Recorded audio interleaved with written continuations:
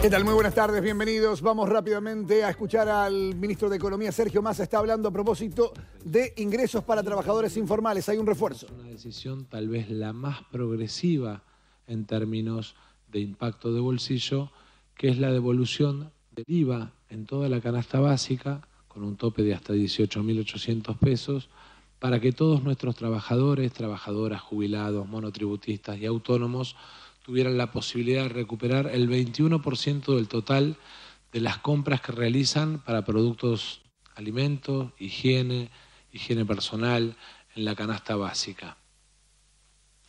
Bien. Esas medidas se tomaron para trabajadores y trabajadoras en relación de dependencia. También el ministro de Economía tomó medidas para las trabajadoras de casas particulares, devolución del IVA hasta 18.800 pesos por mes y también una suma fija, un refuerzo en los ingresos de 20.000 pesos en dos cuotas de 10.000.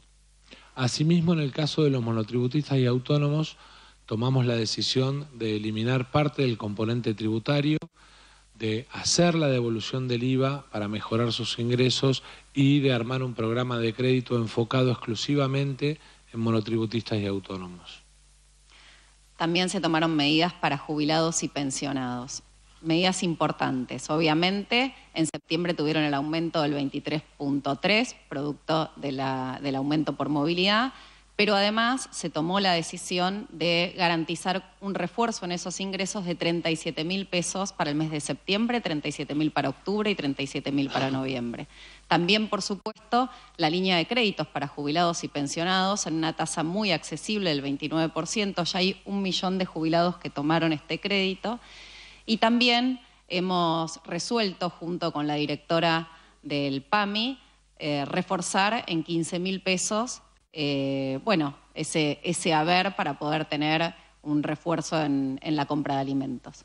Asimismo, para los beneficiarios tanto de la UH como de la asignación por embarazo y los beneficiarios del potencial trabajo, se tomó la decisión, por un lado, de incorporarlos e incluirlos en la devolución del IVA de la canasta básica y, por otro lado, de reforzar sus ingresos eh, con un bono adicional a los efectos de garantizar que tuvieran la oportunidad de poder recuperar parte del daño que la devaluación impuesta por el FMI les había generado en su bolsillo.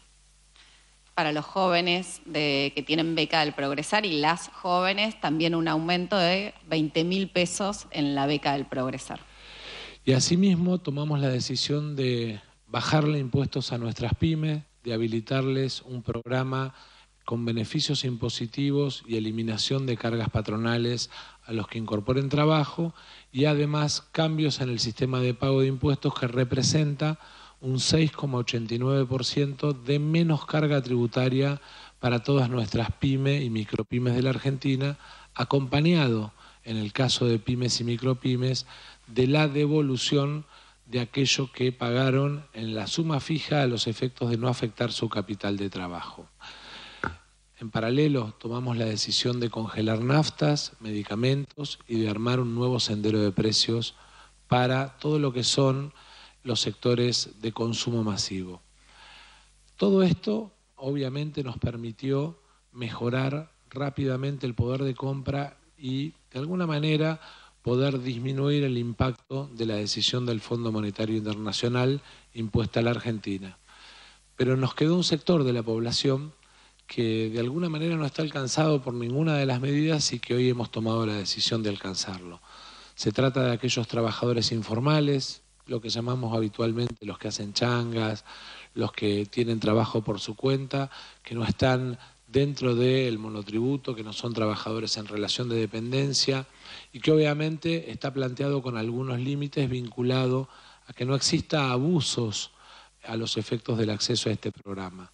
Y hemos tomado la decisión de apoyar, de reforzar sus ingresos con dos canastas básicas que de alguna manera representan 47 mil pesos para un adulto en cada uno de los meses, para los meses de octubre y noviembre, que se tramitará desde el día de mañana a través del sistema de ANSES.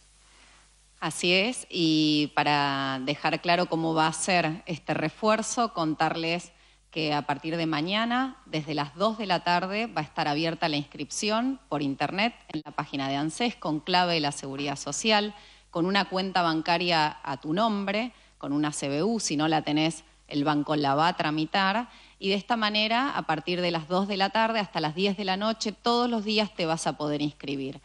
Bueno, con este refuerzo vamos a llegar a aquellos hombres y mujeres de la Argentina que tienen más de 18 años, menos de 64, que no están alcanzados por ninguna prestación o asistencia del Estado y que no tienen trabajo formal. Por eso decimos que este es un refuerzo para aquellos hombres y mujeres de la Argentina que no se vieron alcanzados por ninguna medida de las que enumeramos recién.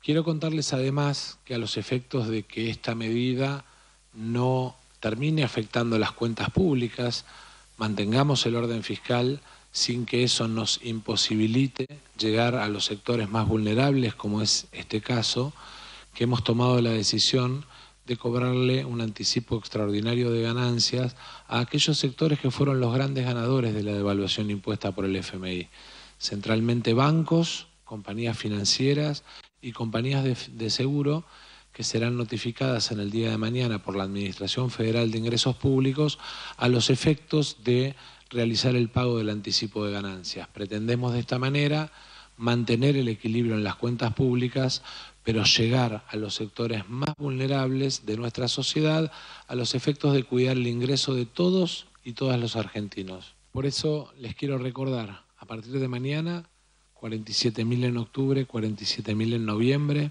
a los efectos de garantizar que nuestros trabajadores informales también sean receptores de las decisiones que hemos tomado a lo largo de estas semanas para recuperar el ingreso de los argentinos.